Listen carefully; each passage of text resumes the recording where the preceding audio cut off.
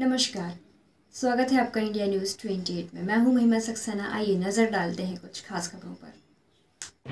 मध्य प्रदेश के नागदा में आंगनबाड़ी कार्यकर्ता किसी के आगे भीख नहीं मांगने जाएँगी। नागदा में आज सैकड़ों महिला कार्यकर्ता भारतीय मजदूर संघ के बैनर तले सड़कों पर सरकार के खिलाफ उतरी और कई बड़ी संख्या में कड़कड़ाती धूप में सरकार के खिलाफ नारेबाजी करते हुए नागदा एसडीएम कार्यालय पहुँची और एक ज्ञापन में कहा कि आंगनबाड़ी कार्यकर्ता किसी के घर खिलौने की भीख नहीं मांगने चाहेंगी और परियोजना अधिकारी का आंगनबाड़ी कार्यकर्ताओं का यह भी कहना था कि दो महीने से मासिक वेतन भी नहीं दिया गया है।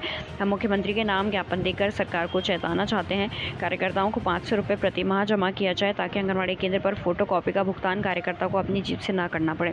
आंगनबाड़ी कार्यकर्ता को यात्रा भत्ता दिया जाए। संवाददाता शंभू राठौड़ की रिपोर्ट। महासंघ के द्वारा मुख्यमंत्री महोदय के नाम से एसडीएम साहब को ज्ञापन दिया जा रहा है, उसका मैं वाचन कर रहा हूँ। माननीय श्री शिवराज सिंह जी चौहान, मुख्यमंत्री मध्य प्रदेश शासन, हस्ते अनुविभागीय अधिकारी राजस्व अनुभाग, नागदा जिला उज्जैन, विषय आंगनबाड़ी कार्यकर्ता एवं सहायक संघ की विभिन्न मांगों के संबंध में। महोदय, उपरोक्त विषय के अंतर्गत निवेदन है कि हम सभी आंगनबाड़ी कार्यकर्ताओं एवं सहायिकाओं को निम्नलिखित मांगों का जल्द से जल्द पूरा किया जाए। माननीय मुख्यमंत्री श्री शिवराज सिंह जी चौहान से निवेदन है कि आंगनबाड़ी कार्यकर्ता एवं सहायिका बहनों को अपने घर को चलाने में दिक्कत हो रही है, अतः माह मार्च और अप्रैल 2022 का रुका हुआ मानदेय तत्काल भुगतान करवाया जाए।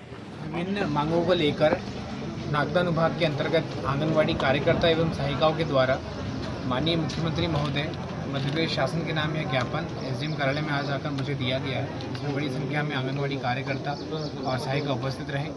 पर रही हैं। विभिन्न मांगों को लेकर यह ज्ञापन दिया गया है इसमें प्रमुख रूप से दो माह का जो वेतन है, वो लंबित चला आ रहा है। सर उस संबंध में दिया गया है। इसके अलावा जो कोविड के टाइम में प्रोत्साहन राशि जो घोषणा हुई थी, वह भी लंबित है, इसका उल्लेख किया गया है। इसके अलावा शासकीय सेवक के रूप में उनका इंक्लूड किया जाए उनको इस रूप में, यह भी मांग की गई। इसके अलावा और भी सात से आठ मांगें की गई हैं। विस्तृत रूप से इसमें उचित कार्रवाई के लिए शासन स्तर पर निर्णय होना है और उसमें माननीय मुख्यमंत्री जी को प्रेषित किया जाएगा विभिन्न समस्याओं को लेकर आज हमने ज्ञापन दिया है माननीय अनुभवी अधिकारी महोदय को कि सरकार के पास कभी बजट का भाईना कभी सॉफ्टवेयर खराब होने का भाईना अधिकारी द्वारा करते रहे दो महीने का मानदेय नहीं मिला और आप शादी ब्याह में आप सबको मीडिया भाइयों को पता है कि कितनी इस बार शादी है। हमारी बहनों कितनी मुसीबत में काम कर रही है और मानदेय नहीं मिल रहा और सरकार की तरफ़ से ये आदेश फरमाया जा रहा है कि अपन पोषण मट का कार्यक्रम चालू कर रहे हैं। घर घर से अनाज एकत्रित करो पोषण आहार के लिए। और, खिलौना, ठेला गाड़ी पे लेके या आप जनप्रतिनिधि से मांगो कैसे भी करके खिलौना एकत्रित करो।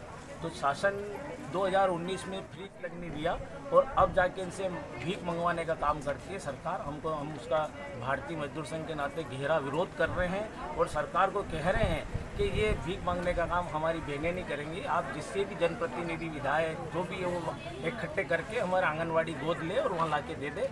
ये बस हमारी यही कहना है।